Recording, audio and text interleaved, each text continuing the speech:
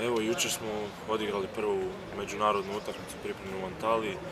Pobjedili smo 2-1 kao što znate. Prvo polovrijeme je bilo bolje, drugo polovrijeme smo malo pali u igri što je normalno, su teške noge, bio je malo teži teren. Tako da, evo, kažem, dobro se pripremamo, dobro idu treninzi. Nadam se da ćemo već u sljedeću utakmicu četvrtak dignuti naš tempo i naš nivo igre, tako da iz utakmice u utakmicu napravimo da možemo doći kad spremni prvenstvo.